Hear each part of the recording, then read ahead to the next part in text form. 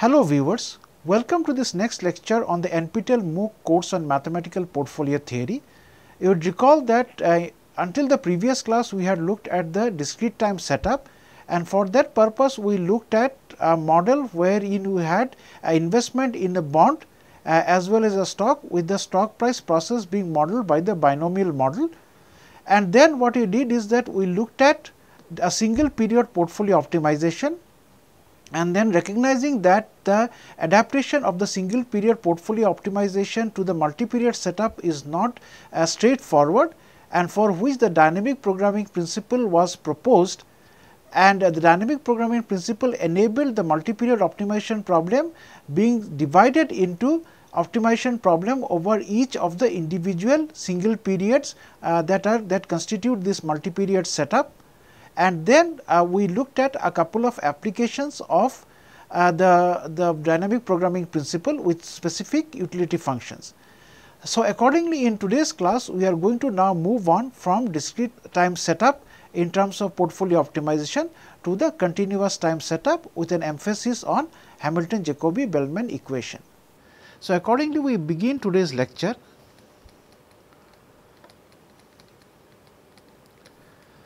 on uh, optimal portfolios in the continuous time framework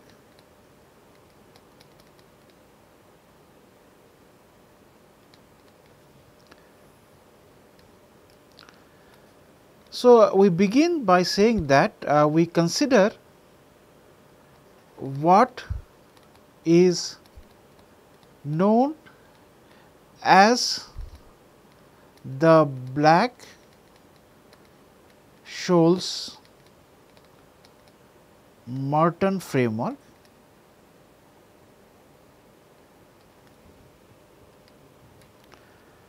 Wherein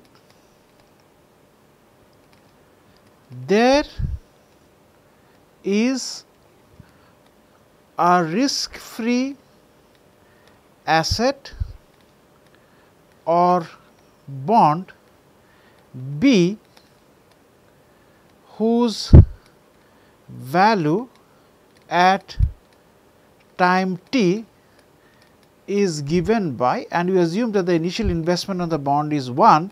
So, its value at time t is given by B t is equal to e raised to r t with r greater than 0 being the continuously compounded interest rate and there is a risky asset or stock S whose value at time t is given by the geometric Brownian motion or GBM model S t is equal to S naught into e raised to mu minus half sigma square dt plus sigma square root of t little z of t with mu sigma being greater than 0, mu being the drift and sigma being the volatility. And z of t being the standard normal random variate n 0 1. So, let me elaborate a little more on this. So, if I the bond price at time t, this is on the assumption that you start off with an initial amount of 1 and end up with 1 into e raised to r t at time t.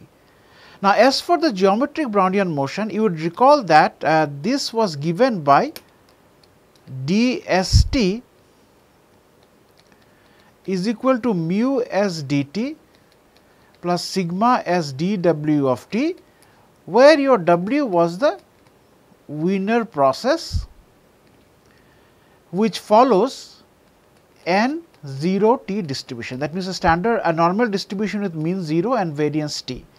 So, the solution for this is S of t is equal to S 0 into mu minus half sigma square t plus. So, this actually should be uh, mu minus half sigma square t plus a sigma of w t. Now, we can replace w t by square root of t. So, just a correction square root of t into z of t. So, if z of t follows n 0 1 distribution, so it automatically follows that uh, w follows n 0 t distribution. So, that is how we get this uh, relation. So, that is this is equal to S 0 into e raised to mu minus half sigma square t plus sigma square root of t into z of t. Uh, so, further uh, we can show that the expected value of S of t is going to be S 0 into e raised to mu t which is why mu is referred to as the expected rate of return or drift. So, therefore, we have mu is equal to. So, if we look at this relation here you can show that mu is going to be nothing but 1 over t into log of expected value of S t over S 0. So, from this relation you can obtain this relation and by taking log on both sides uh, by we can obtain that mu is equal to 1 over t into log of the expected value of S t over S 0. And likewise, uh, you can also obtain that sigma square is equal to variance of log of S t minus log of S 0 over t. We now move on to the main problem in hand that is the utility maximization in continuous time. Uh, so, we begin with the motivation by pointing out that the dynamic programming principle described in the previous lecture can now be extended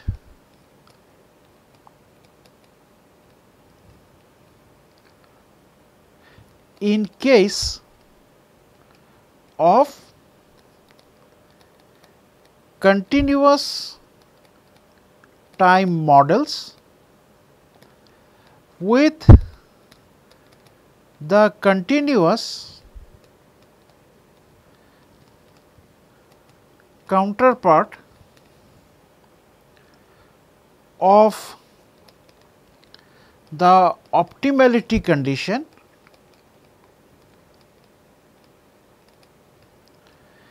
being called the Hamilton Jacobi Bellman abbreviated as HJB partial differential equation PDE.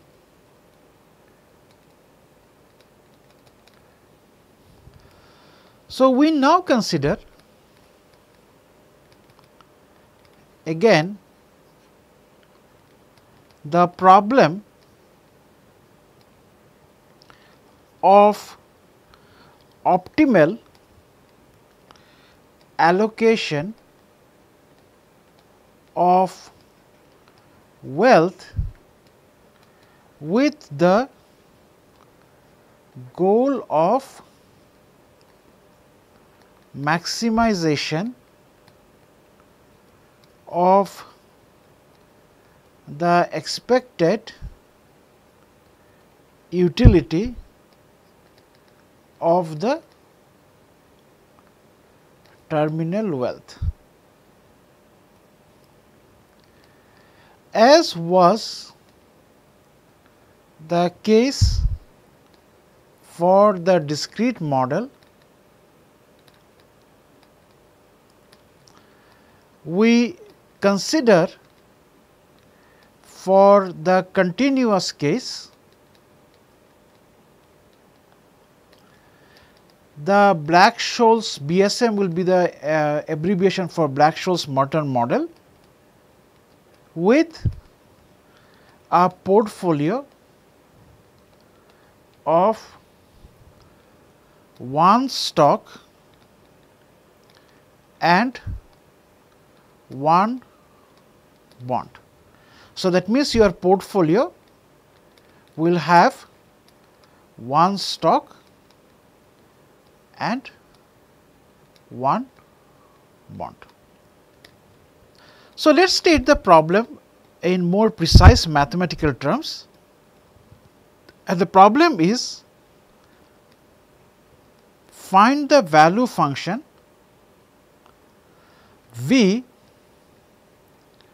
which satisfies v of t x. Remember that we had talked about the value function in the discrete case and this is going to be the supremum of the utility of the final wealth. So, final wealth is x of t and this utility is u of x of t and this is a random variable. So, I need to consider its expectation condition that at time t the wealth level available is x and this has to be run over all the possible portfolios pi that can be held. So, this is so in summary this means that we need to find the supremum of this quantity and the conditional expectation indicates that this is conditioned on the initial condition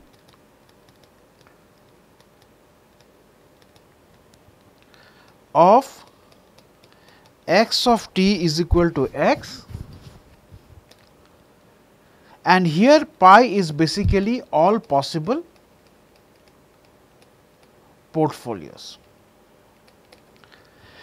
Now, here note that the supremum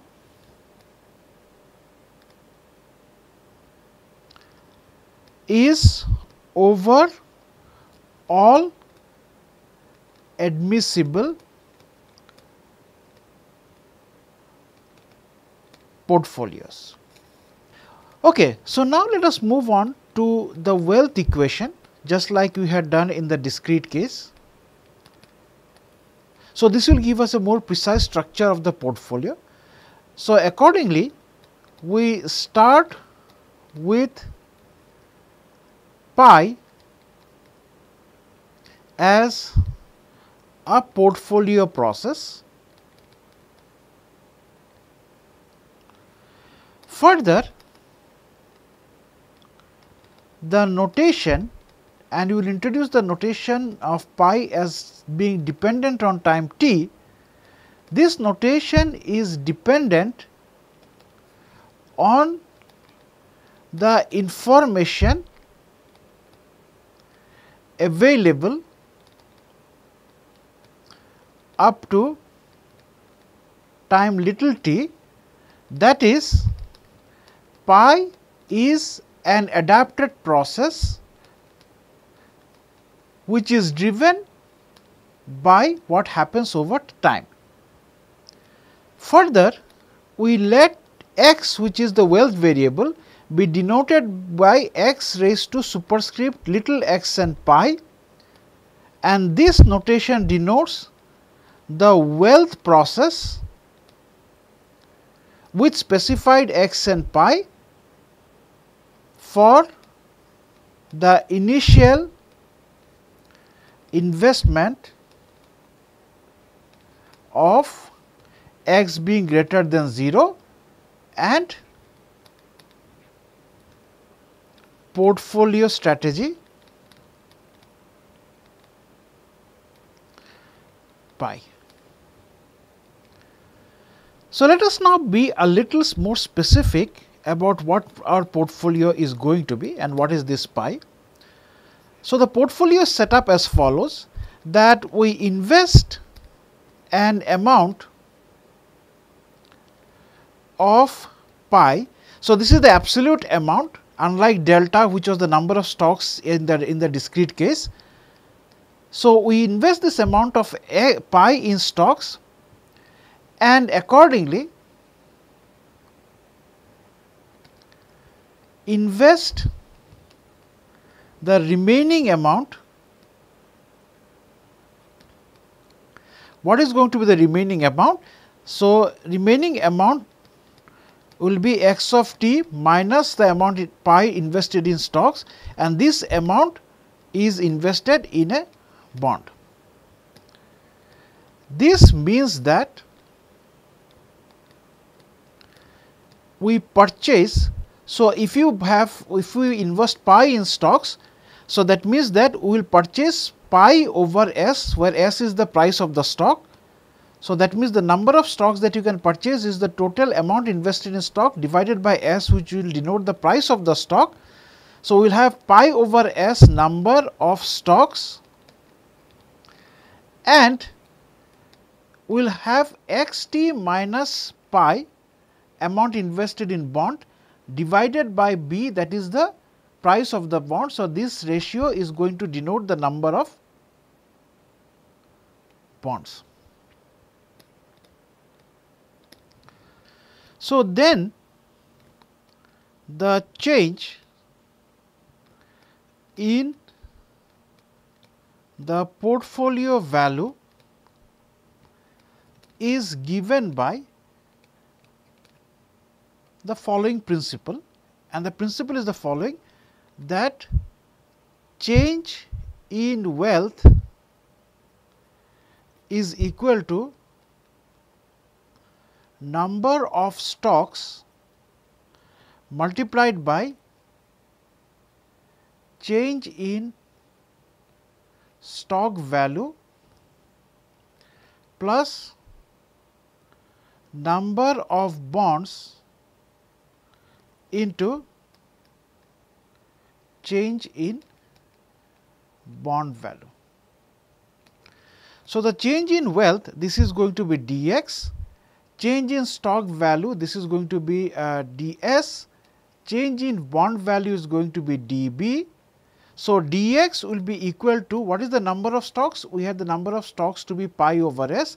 So, dx will be pi over s into ds and the number of bonds is x t minus pi over b.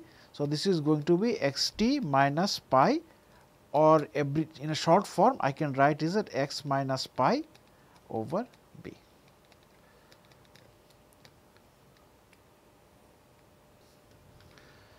Now, uh, we recall that ds is equal to mu s dt plus sigma s dw of t and dbt is going to be rbt into dt. So, therefore, dx. So, I am going to replace the value of ds as given by this relation. Actually, I am going to replace ds over s and this value of, of db over b will be replaced by the value of dv over b given from here. So, accordingly dx is going to be pi into ds over s. So, this is going to be uh, mu dt plus sigma dw of t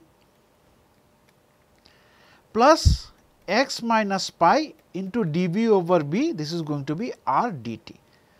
So, I collate the terms uh, which have dt in them. So, this becomes r x minus pi r plus pi mu into dt plus pi sigma into dw of t.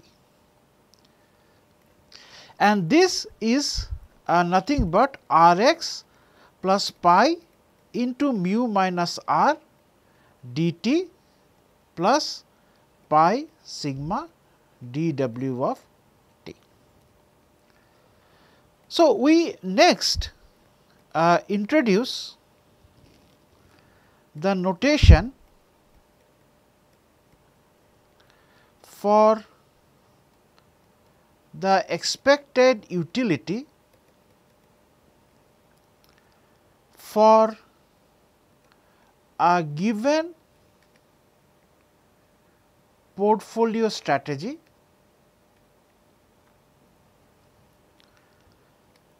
not necessarily uh, optimal.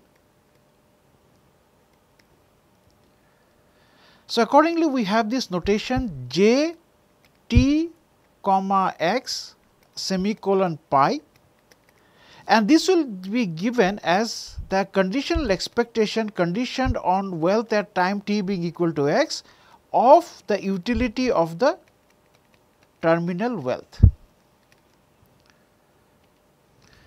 so, observe here that uh, this uh, j t x pi is going to be the expected utility of the terminal wealth. So, here you observe carefully that for every possible pi and there are many possibilities for pi, you will have a different terminal wealth that means different terminal wealth uh, depending on what strategy pi you adopt and that terminal wealth I will denote by x of superscript pi and for this the expected utility is going to be u of x pi of t.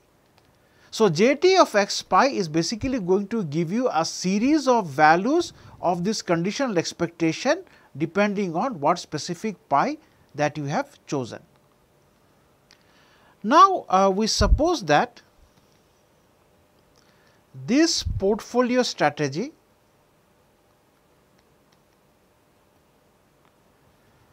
has the form of a feedback that is information available at time t. So, this is going to be pi t is equal to pi of t and x pi for some function pi of t x. So, uh, consequently, j will become just j of t x because I have taken this to be of the feedback form is the expected value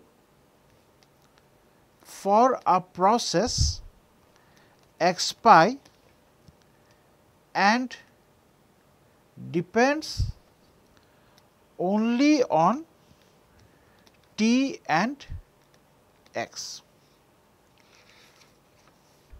Next we have a couple of notations uh, and these notations are for j of t x. So, here j subscript t will be used to denote uh, the partial derivative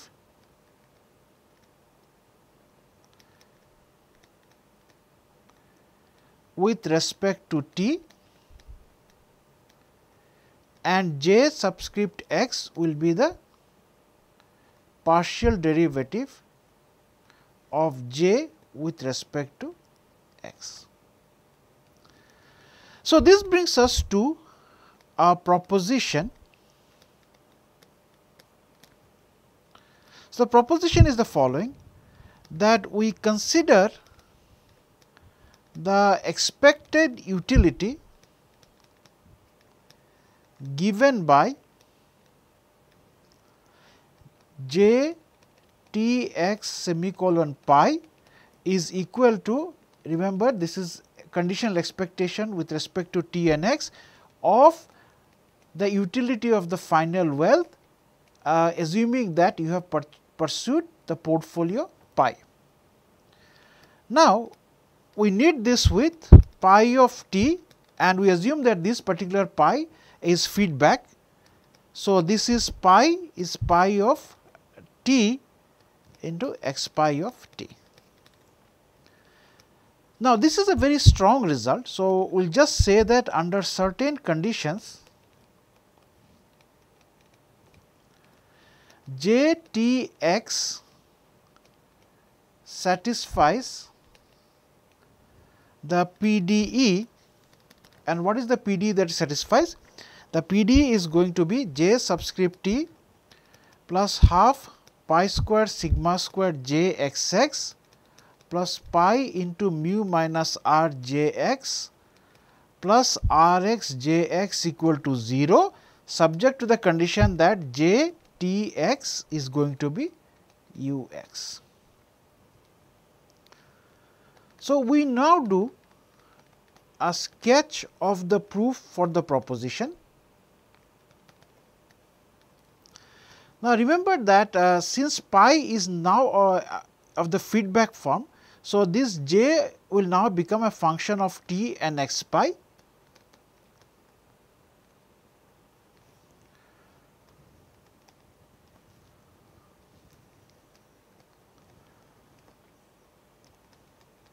So, this is a, a function of the process x pi as I mentioned. Then we can apply Ito's lemma to obtain the following and Ito's lemma is nothing but uh, the Taylor series expansion in case of a uh, in, in, the stochastic setup.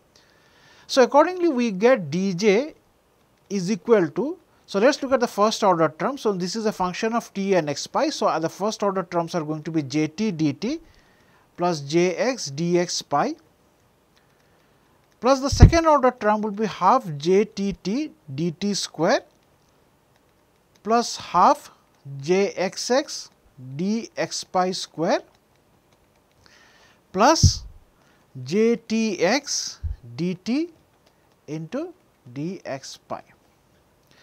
So, just to give an intuition of how we get this. So, remember that our dx pi the wealth process was rx pi plus pi into mu minus r into dt plus pi sigma into dw. So, here uh, if you go back and look at the definition of Wiener process, so you will observe that dw is of the order of square root of delta t. Uh, so, accordingly this term uh, is obviously of the order of dt. This term, so dx pi has uh, dt and dw which is order of square root of delta t. So, this is going to be order of dt. Now, here you observe these terms, this is going to be order of dt square. Now, uh, if you observe this term dx pi square, so that is if we square this, we will find that here I will have a dt square term, here I will get, get a dt term and the cross term will be dt into square root of dt.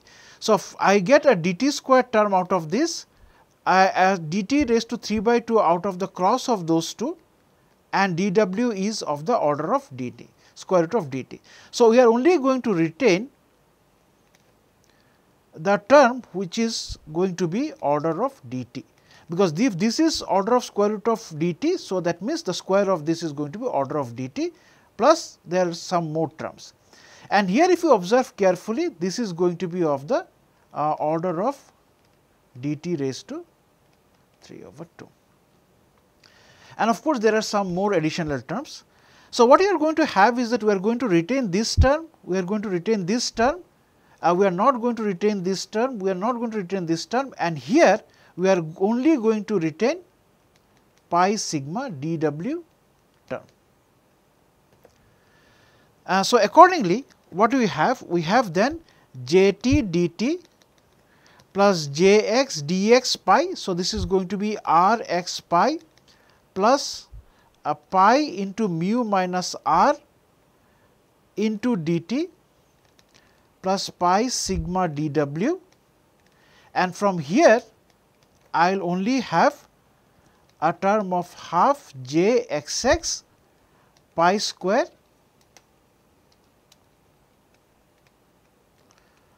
pi square sigma square into dt. So, now I am going to collate uh, the terms uh, which involve dt. So, I will get jt plus jx into r x pi plus pi into mu minus r and I will have plus half j x x pi square sigma square the entire thing into dt plus the remaining term which is j x pi sigma into dw. Okay, so, now I have this relation of dj equal to this expression. So, what I am going to do now is I am going to integrate from t to capital T. So, when you do the integration what will you get? So, I am integrating dj from uh, t to capital T. So, this is going to give me j of t x pi of t minus j of little t and x. This is going to be integral little t to capital T of this entire expression. So, I will use a dummy variable u. So, j u plus j x r x pi plus pi into mu minus r plus half j x x pi square sigma square into du plus integral small t to capital T j x pi sigma dw. Now, uh, we observe carefully uh, that uh, this value that is j of t x pi t this is going to be nothing but u of uh, x pi of uh, and the reason is that if you remember that j t uh, j of uh, t x pi uh, this is nothing but e t x of u of x pi of t. Now, when I look at j t x pi of t then of course, this expectation no longer remains conditional because the, then this becomes an expectation uh, with the condition given that uh, small t is equal to capital T and x is equal to x pi of t. So, this means that for this value this quantity this argument that you have here this is no longer a random variable and accordingly we get this uh, result. Okay, so now we are going to substitute this value uh, of uh, j t x pi t here. So, accordingly we get the following. So, we will get u of x pi t and I bring this term to the right hand side. So, this is going to be j t x plus integral small t to capital T j u plus j x into r x pi plus pi into mu minus r plus half j x x pi square sigma square into du plus integral small t to capital T j x pi sigma dw. Now, we take the expectation on both the sides.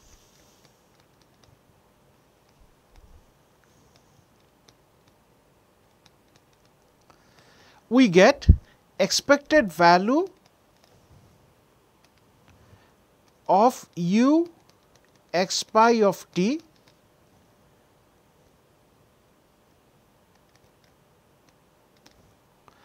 is going to be j t x plus e t x of integral from small t to capital T j u plus j x uh, r x pi plus pi into mu minus r plus half j a x x pi square sigma square du. And now, observe carefully. So, here I have just straight away taken the expectation. Here this expectation will be the same variable because this is conditioned on uh, little t n x and this is a function of little t n x. And here we have assumed that you know the expectation can be brought inside and the expectation of dw is going to be 0. Remember that dw is a standard normal random variate. So, this expectation is going to be 0. So, uh, we just note that here we have uh, used the fact that the expectation of the dw integral is 0.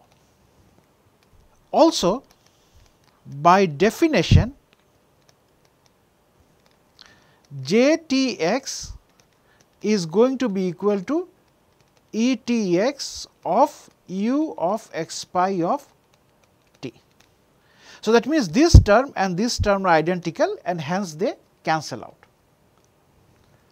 Uh, so, therefore, what we get is that E t x of integral t to t of j u plus j x r x pi plus pi into mu minus r plus half j x x pi square sigma square du this is going to be equal to 0 and uh, accordingly, uh, we can conclude that this particular term that is j u or now I can restore t. So, j t plus j x r x pi plus pi into mu minus r plus half j x x pi square sigma square this is going to be equal to 0. Hence, the proposition Okay. So, now that we are equipped with the proposition, we now come to a very important theorem. So, the statement of the theorem goes as follows, let the value function be given by V t x is equal to supremum of j t x of pi over pi where uh, we have already defined j t x of pi to be equal to the conditional expectation of the terminal wealth. So, the value function is going to be, so what you are interested in is you are interested in finding out what is the uh, expected value of the terminal wealth starting off at little t and x, and this can take many values depending on what your pi is which you will denote by j t uh, x of pi. And what you want to do is the maximization of this expected utility which is the same as maximization of this j. And that is the reason why this supremum of this j or the maximum value of this j is what we will call as the value function. Okay. So, then under certain conditions this value function V satisfies the HJB PDE that is the Hamilton Jacobi Bellman PDE. And what is the PD? This is Vt is equal to supremum over pi of half pi square sigma square Vxx plus pi into mu minus r into Vx plus R x into V x equal to 0 and V t x is u x. Uh, so, you can obtain that by basically uh, looking at this expression right. So, what is going to be Vtx? Vtx is going to be supremum of Jtx pi. So, you basically take the supremum over this and then you arrive at this particular relation that is the uh, classical HJB equation. So, this is the equivalent the continuous time equivalent for the DBP or the discrete dynamic programming uh, approach. Okay, uh, so now uh, just an observation that uh, if the supremum of the above expression is attained for some function pi hat. So, this is similar to delta hat that you had done. So, the value of pi or the portfolio pi for which the supremum is attained and we call that to be pi hat of T x, then the optimal portfolio process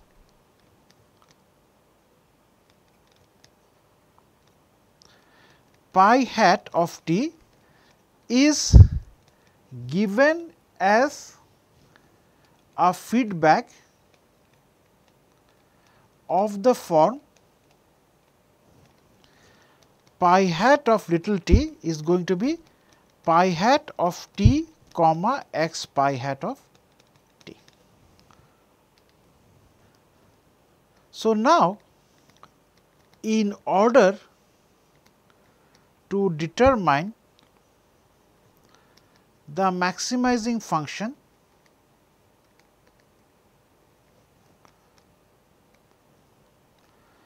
pi hat of t x from the HJB PDE, we differentiate the expression. So, which expression are you going to differentiate? It is going to be this expression. So, we differentiate this expression half pi square sigma square Vxx plus pi into mu minus r into Vx and differentiating with respect to what? We want to find out what is our pi. So, differentiate with respect to pi and set it equal to 0. So, if we differentiate this with respect to pi, so I will get pi sigma square Vxx plus mu minus r into V x equal to 0. So, solving this for pi, we get the optimal portfolio as pi hat of T x is going to be minus of mu minus r over sigma square V x of T x divided by V x x of T x. And this can be written as minus theta over r Vx of T x divided by V x x of T x, where theta is mu minus r upon sigma. Now, this is something that is familiar. So, this quantity theta is equal to mu minus r over sigma is called the risk premium. Remember that uh, we talked about risk premium, this is the excess return over risk. Now, this pi hat that you obtained here, so substituting this pi hat in the HJB PDE that means, we will substitute this value in this HJB PDE, we obtain the equivalent HJB PDES Vt minus theta square over 2 Vx square over Vxx plus R x V x equal to 0 subject to the condition that V t x is going to be u x.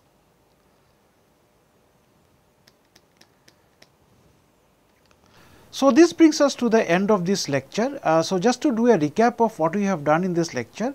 So, in this lecture we moved on from the discrete time case to the continuous time case and we considered the problem of portfolio optimization in the continuous time case. And for that we considered what is known as the Black-Scholes-Merton framework where uh, we look at uh, the investment in the market comprising of investment in bonds and uh, investment in stocks and the investment in stocks was modeled through the geometric Brownian motion. And using the models for the uh, stock movement using the GBM and uh, the continuous time model for the price of the bond, we looked at what is going to be the wealth process. Then we proceeded to the problem of defining what is the value function. And it, then the ultimate goal was to obtain what was the Hamilton Jacobi Bellman equation. So, accordingly what we did was we first of all gave a proposition. And that proposition has a direct ramification on the uh, derivation of the Hamilton Jacobi Bellman equation whose solution will give you the value function in the continuous time setup. And also the, in the process of deriving the uh, Hamilton Jacobi Bellman equation we are able to obtain what is going to be our optimal portfolio. So, in the next class we will continue our discussion on this topic and we will look at a few examples. Uh, first of all, we will look at the Hamilton Jacobi Bellman equation that we have uh, derived uh, or rather we have presented here and then we will look at how to include consumption in the process to look at what is not only going to be the optimal portfolio, but as well as what is going to be the optimal consumption in the continuous time setup. Thank you for watching.